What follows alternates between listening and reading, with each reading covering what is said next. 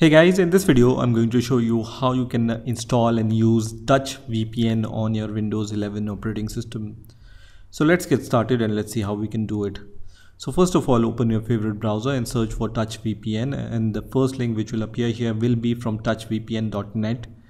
So just click on this touchvpn.net website and here you will be able to see this kind of web page so when you scroll down a little you will be able to see uh, get touch VPN at the top and you will be able to see this button also which says get touch VPN so you can click one of these buttons.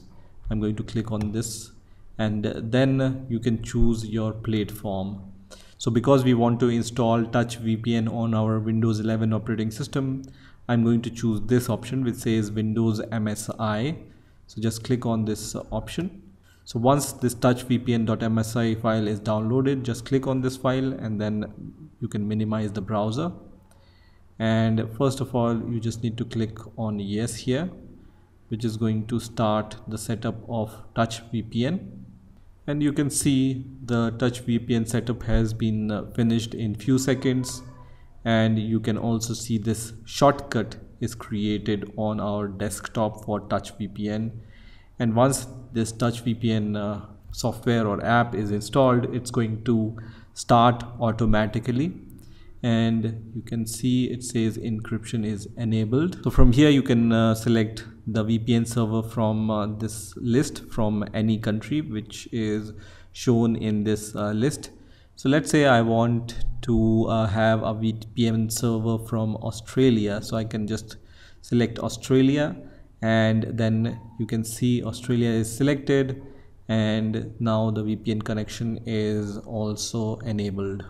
Now in order to check whether it's working or not you can open any uh, website which shows you the actual location of your internet provider.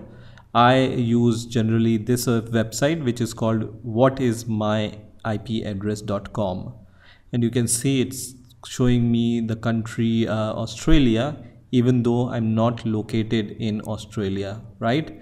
So I can uh, change this uh, location once again. For example this time I want to choose the United Kingdom uh, VPN server. So it's going to connect to that server. And now I'm going to refresh this uh, website. And now I can see uh, this country so you can see my IP address is now from United Kingdom right? So you know that whatever country you choose here your uh, IP address will be from that country right? So this is how you can uh, install and use touch VPN on your Windows 11 operating system. I hope you've enjoyed this video and I will see you in the next video